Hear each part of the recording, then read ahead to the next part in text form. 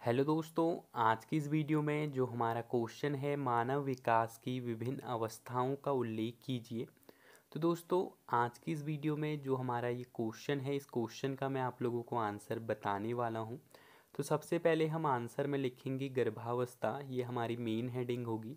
इसमें हम लिखेंगे कि इस अवस्था में शिशु मातु गर्भ में होता है और उसका मानव विकास शुरू होता है। गर्भावस्था में पोषण, आत्मा विकास और शारीरिक समर्थन की शुरुआत होती है। फिर नेक्स्ट हेडिंग हो जाएगी हमारी बाल्यावस्था। तो इसमें हम लिखेंगे कि जन्म के बाद से लेकर दो वर्षों की आयु तक को बाल अवस्था कहा जाता है। इस अवस्था में भाषा सीखना सामाजिक और भौतिक विकास होता है। फिर नेक्स्ट हेडिंग हो जाएगी बचपन। तो इसमें हम लिखेंगे कि बाल्यावस्था के पश्चात लगभग दो से बारह वर्ष की आयु को बचपन कहा जाता है। इस अवस्था में शिक्षा, शैक्षिक साहित्य और सामाजिक संबंध बढ़ते हैं। फिर नेक्स्ट हेडिंग हो जाएगी किशोरावस्था।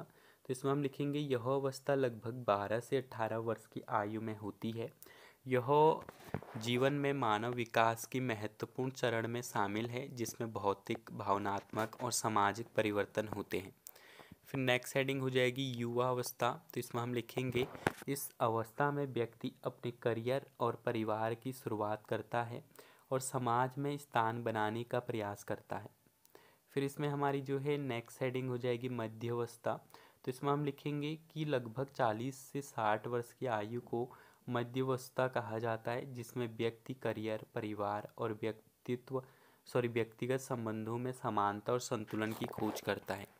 फिर नेक्स्ट हेडिंग हो जाएगी वृद्धावस्था। तो इसमें हम लिखेंगे साठ वर्ष के बाद की आयु को वृद्धावस्था कहा जाता है, जिसमें व्यक्ति समझदारी, अनुभव और सामाजिक योजनाओं में संलग्न होता है। तो दोस्तों, ये था इस क्वेश्चन का आंसर अगर आप लोगों को ये वीडियो हेल्पफुल लगी हो तो वीडियो को लाइक और चैनल को सब्सक्राइब कर लीजिएगा।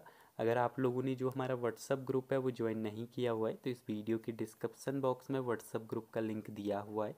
तो आप लोग क्लिक करके ज्वाइन कर सकते हैं। तो चलिए दोस्तों, मिलते हैं आपको हमारी नेक्स्ट वीडियो में। तब तक के लिए bye bye and have a good day